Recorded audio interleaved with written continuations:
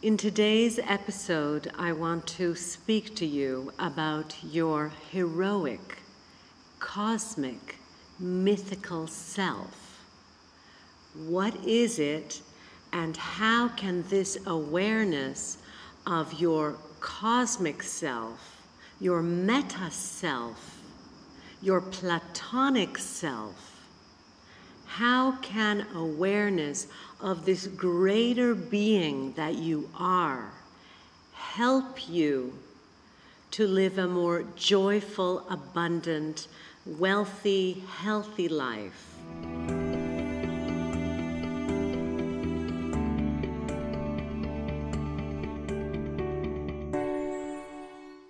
Have you ever wondered who your true self is?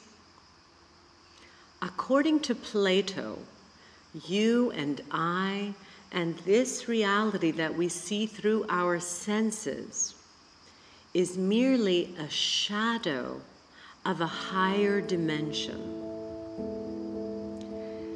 And unless we come into contact with this higher, elevated self, our ideal self, our cosmic self, we will always be in a state of anxiety, insecurity, confusion,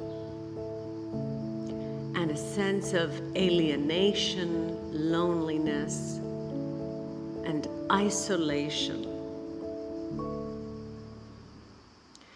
So, one of the things I want you to begin to become more sensitive to is the vibration of your higher self. What do I mean by that?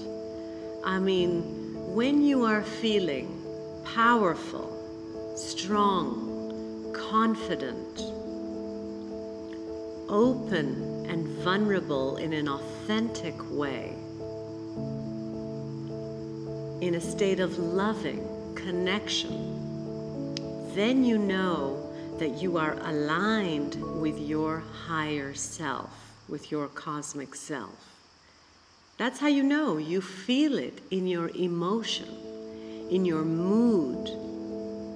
So I want you to, if possible, keep a journal of the times you feel fabulous, the time you feel in balance and harmony Start being like a detective, really taking note of those times and places, the people, the events that bring it out in you. Once you become aware of this vibration, it's like tuning into a radio station or a, a television station, a network, if you like you feel plugged in, turned on, tuned in to your real self and your power. And then you feel the flow of energy. I know it from myself. When I feel connected, as I am right now in this moment, I have energy.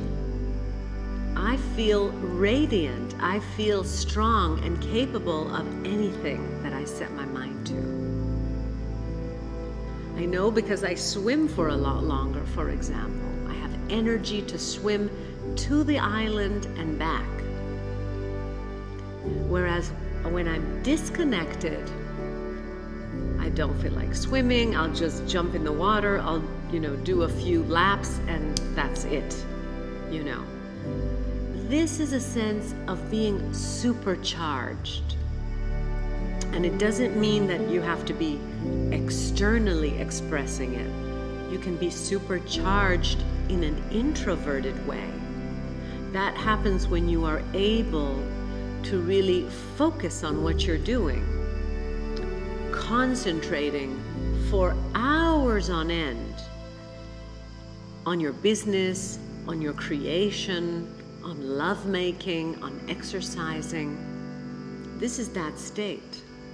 Now you may say, yes, but Alkistis, can I always be plugged in and be in that super self connected to my cosmic self? Let me put it this way you are far more tuned out than you should be tuned in at the present moment in your life. You need to make time for regular meditation. I don't know what your meditation is. It could be 15 minutes a day of looking at a candle flame, of focusing on your breath, of painting, of doing something where you feel that being tuned in